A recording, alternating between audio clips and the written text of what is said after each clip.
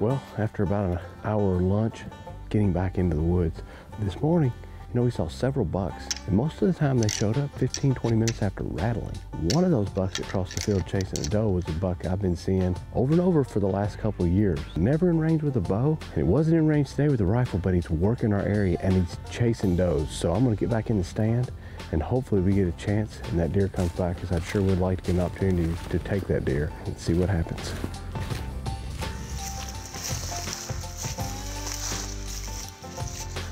That is a fresh scrape. This is about 80 yards from my stand. Almost looks like that buck is taking a garden break and just pulled all that grass and piled it up. And you can literally smell the buck in this area. It's been hitting this pretty regularly.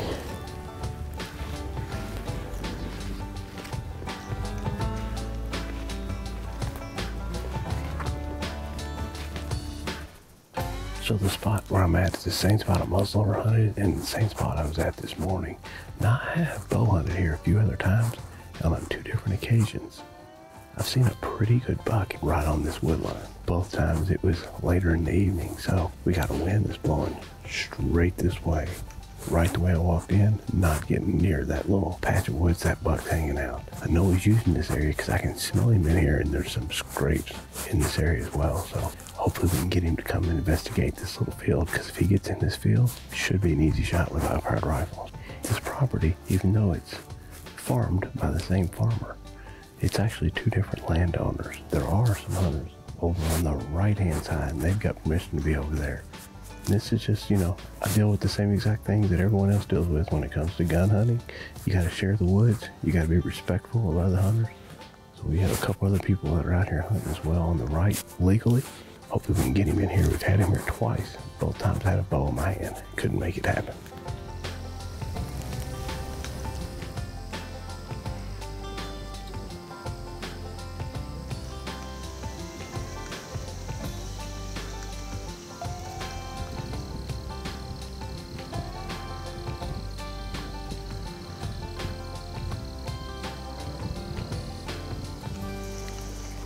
About 3.30. Been in here for a little while. No action just yet. You know, it's getting dark, really dark by 6. So I'm going to start doing some light calling. And hopefully, if we have a deer that is in this patch of woods right here, we can make him make a move this direction.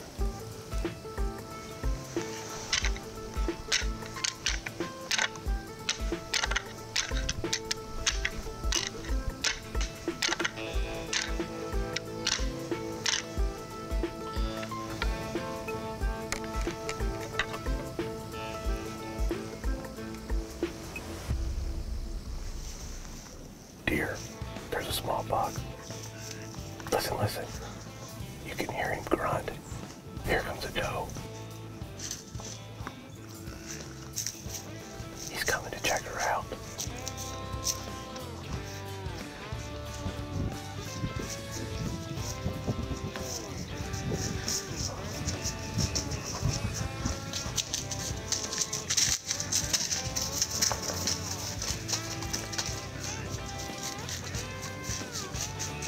That was really cool. That little buck showed up. Probably couldn't hear it, but I could hear it light grunts and walking around.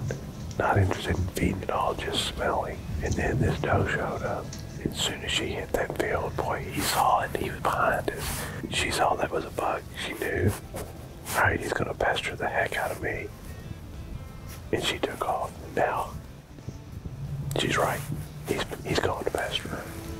We could have filmed my two remaining tags right there. We've got another deer. Looks like a doe, about 80 yards. It's about 20 yards into the woods.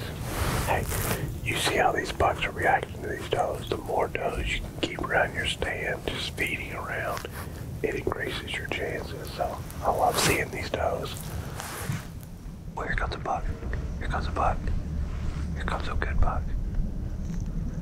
Looks like about an eight pointer. I can't tell.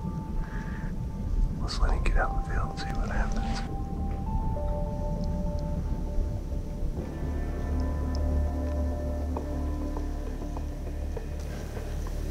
Oh, hold on.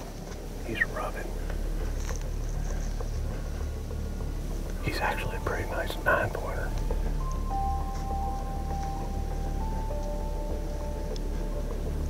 I've been sitting here all day watching that rub this morning and now. Pretty cool to see a buck come and actually rub on it. I'm gonna get a little better look. I've got weeds and stuff between me and the vitals. Hey, this could be the same buck that made the scrape we saw on the way in. Here comes another deer. It is a doe.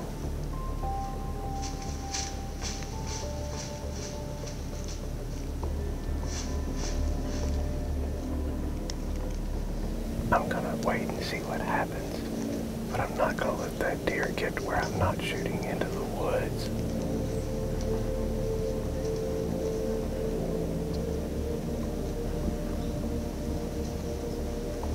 This looks like a pretty mature buck.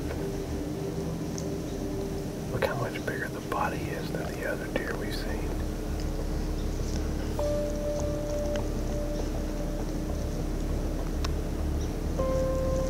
Think we're still going to see that buck again. He's chasing that small buck. Here they come. Get ready. He's coming. He's coming back right here. He's coming right back. Here comes the doe at the corner of the field. She's about to pop out.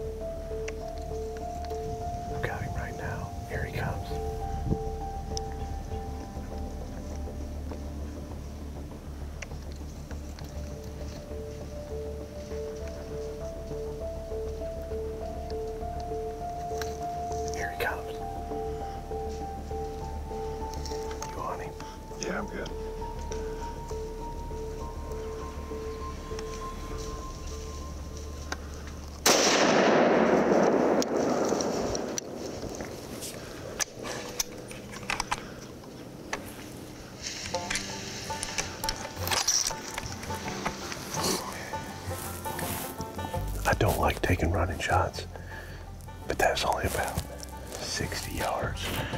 So I felt really confident with taking that shot. But he's down. He's right there. I'm pretty fired up about it. Really cool this time of year, getting out here. You know, as, as normally as a bow hunter, and I don't get in the woods too much during gun season, to see the deer really in full rut you know, rounding those does up, keeping an eye on them, making his making his rub. Soil away from the bottom of that tree. Mean, he was going through all the phases of rut. That's really cool to get to see all that. I've had a great season. I've got a freezer full of venison. Was able to take deer with my bow, deer with my muzzle loader, and now a deer with a rifle. I can't ask for much more. It's all about opportunities, and I've had some chances. And I'm really happy with how this season has turned out. Get ready, get ready. Here's a doe. She's about to pop out. I've got one tag left.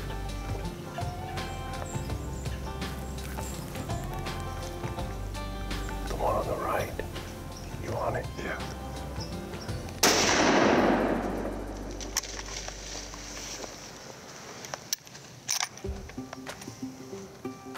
I'm sitting here in my stand, and I had one tag left. I know I'm going to be processing deer because I've got a buck down. I figured, you know what? I can wrap it all up and end it up right here today and make it such a, a perfect season. Filled all my tags, burned my buck tag. Couldn't work out any better. We said when we, we parked out here, we came in, there's another truck. We know there's a hunter because we we know this truck we know they're hunters that have permission to hunt here. And they're hunting somewhere right over there. Both of these deer went straight down. I'm gonna be a courteous, courteous neighbor hunter here. And we're just gonna wait these out and see what pops out and not mess up their hunt. There's that other buck. That's a different buck though, 'cause my buck, our spike winner over here. I saw this buck this morning.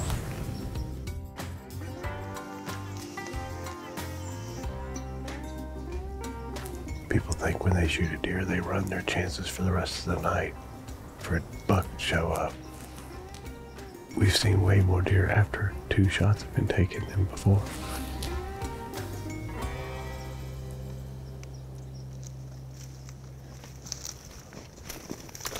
That deer was shot right here, and I think he circled right here somewhere.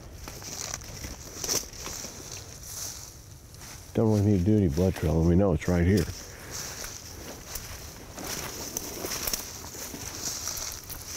Yep, right here he is. Wow, he is in that briar bush. Look at that neck. Look at that. We'll try to drag him out here and see what we got. He is buried in here. Well, you know what? This is a perfect, perfect close to this deer season. You know, this is just a really nice, mature buck. I'm super happy with it. I think back about how this season progressed. Literally, five or 600 yards on the other side of this cornfield is where I started bow hunting this year. Had some really cool encounters, saw a couple of decent bucks down there, but I kept seeing the deer up on this end. Right before muzzleloader season, moved up here and realized that these deer are just loading in this little valley I'm in right now. Came up here, was able to take a couple does with my muzzleloader, saw a buck or two, nothing I really wanted.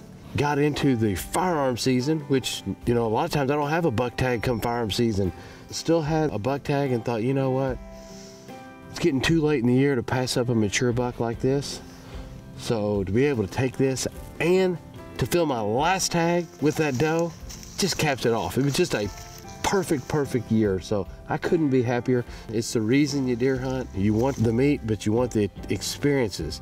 And even if I wouldn't have got a buck this year, I would have still had a great year. It's about the time in the deer stand, enjoying all the things you see and just being a part of wildlife and Mother Nature. Just a beautiful, beautiful year, and what a nice buck to finish it up with.